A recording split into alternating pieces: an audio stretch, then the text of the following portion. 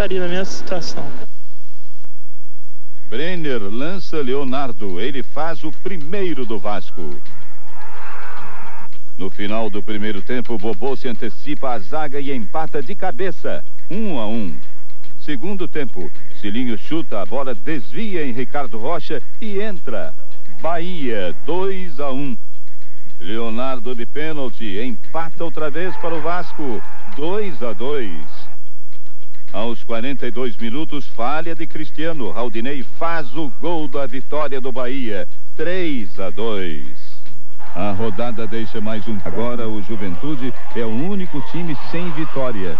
Debaixo de chuva, não perdeu mais uma porque o ataque do Botafogo não soube aproveitar as oportunidades. Nem o artilheiro Túlio conseguiu desviar a bola do goleiro. 0 a 0. Líder do Grupo A, 18 pontos ganhos, o Palmeiras está na rota do tri.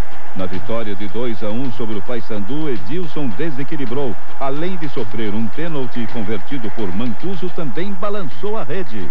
Com o ataque mais positivo do campeonato, 15 gols, o Palmeiras só está ameaçado pelo Cruzeiro, que tem 5 pontos e dois jogos a menos.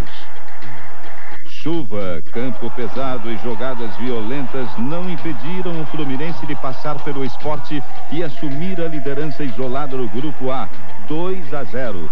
O Flu, que tem a defesa menos vazada do campeonato, apenas três gols, pode decidir uma das vagas para as semifinais do sábado com o Internacional em Porto Alegre. Do Racing da Argentina de virada por 3 a 1. O gol de Paulo Nunes fecha o placar. Mas após a partida, os jogadores argentinos tentam agredir um torcedor que invadiu o campo, provocando o goleiro Gonçalves. A confusão pode custar a interdição do Estádio Olímpico.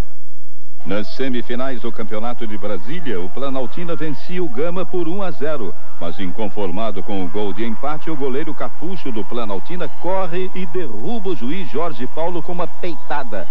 Na confusão, a polícia ainda tenta acalmar os jogadores do Planaltina. Mas o goleiro Capucho, ao saber que está expulso, volta a investir contra o árbitro, sendo então agredido. Depois de até a polícia montada entrar em ação, o juiz expulsou os 11 jogadores do Planaltina. Todo o time foi parar na delegacia. Área e Elson